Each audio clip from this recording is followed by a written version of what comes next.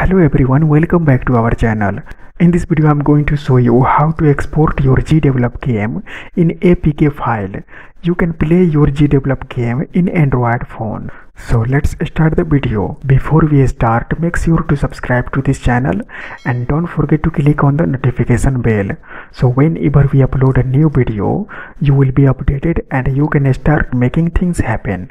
Also please give this video a big thumbs up and if you have any questions or opinions about the video, don't be shy and just leave a comment down below. Now let's get back to the video. Friends, if you don't know how to make this space shooter earning game, then just go to this video description box below.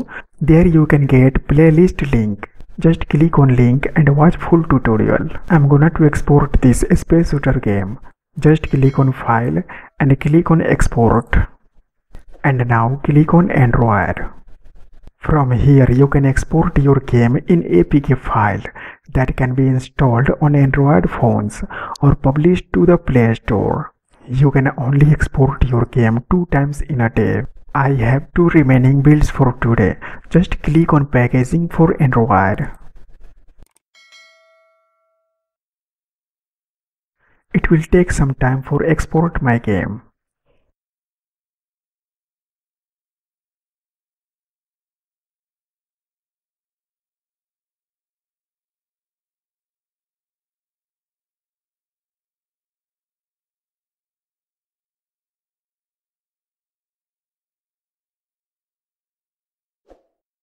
And now click on download. Now my game is downloading. You can see here.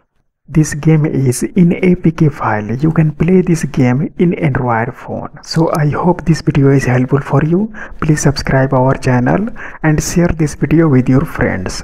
Thanks for watching and I'll see you in next video.